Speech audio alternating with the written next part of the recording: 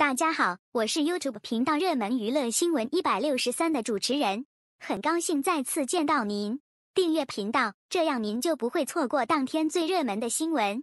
这是今天的新闻：王一博每一次出来都能给到惊喜，永远可以信任他。昨天补了街舞三，看到一个现象很有意思，两对水舞台。两轮同样都是票差大，同样的是落到张艺兴头上，弹幕全是内涵，明里暗里骂；到了王嘉尔头上全是夸的，给我看的哭笑不得。我也不知道两波是不是同一属性的人，反正给我的观感是张艺兴实惨。当时还以为是舞步的设计问题，就觉得王一博的脚步划不开。我是外行人。只能看出这点，艺兴脚步上比较轻盈。王一博学的也系统，对街舞看出来也很喜欢。但是艺兴以前跳编舞很少接触锁舞是硬伤，但是如果想学，什么时候都不会晚。希望他可以继续发展自己，越来越好。节目刚开头，弹幕全是刷王一博的，其他队长出了，弹幕大部分刷的还是王一博，观感属实差。一点不尊重别人，这是我第一次看个综艺节目需要开弹幕屏蔽的。屏蔽完了，王一博弹幕就舒服很多。张艺兴的队友是 Locking 界的殿堂级舞者，